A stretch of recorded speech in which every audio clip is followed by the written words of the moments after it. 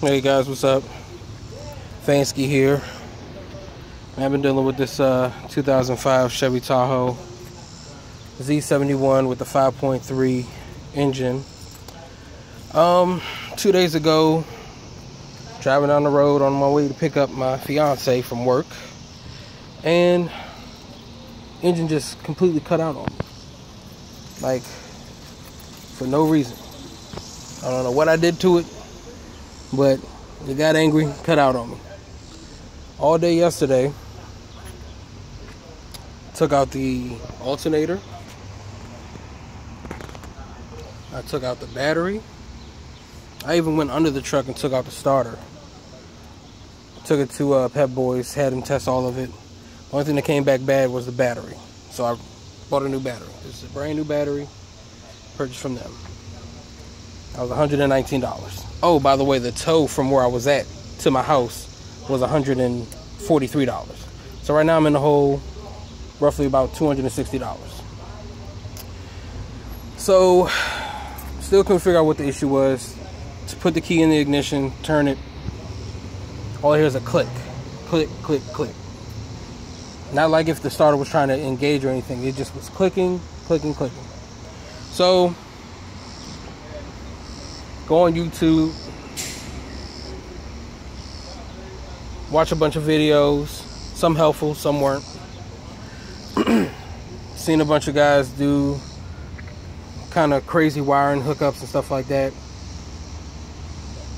I didn't want to bother with it. So I called Pep Boys this morning and had them actually tow my vehicle to Pep Boys. $25 to get it from here to there. It's right down the road. Tow it there this morning at around 9:30. I left there at about 4:30. So I was there all day. They couldn't figure out what was wrong with it. Um, I bought an ignition switch from them. That was about sixty dollars. Um, to do an engine di- uh, uh, engine diagnostic, that was eighty dollars. And they changed the uh, the relay. They put in a new uh, starter relay. Didn't even need it. That was seventeen dollars. So that cost me that whole bill total was about two hundred. So if you're following my math, roughly around 420, 430, and uh, in in uh, in my bill already for for this truck and why the the engine just cut out on me. Get home. Well, no, I talked to one of the guys in parts, and he tells me that there is a wire located deep back in the firewall.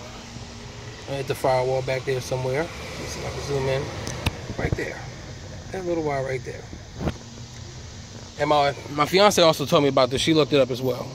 Now when she told me, I couldn't find it. And he told me I couldn't find it either. But he also told me that he ran a ground wire because he has the same vehicle as me. He ran a ground wire from that point right there to these wires right here. Right there. He took the, the ground wire, ran it from here to there, and his truck worked fine. I did it. My truck had the stability, I mean the uh, engine reduced light on and all that stuff, but I still drove it home because I wanted to get it out, get it, you know, back to my house and from the shop. So when I got home, I pulled up a video from a gentleman, I forgot his name, but he actually had a video of where the wire actually was, the exact spot where it was. So I was able to lift all those wires and everything and see this one wire just dangling, not connected to anything. And I was like, motherfucker. So I took that wire, disconnected it from that connection because that was causing my engine to, to stall and everything. I thought it was going to break down on um on the road on the way home. Tape that back up, make sure the connections was good and everything, and then use the same wire and just connected it to the to the ground that I already uh, uh, created cleaned it up and everything, and it started up perfectly.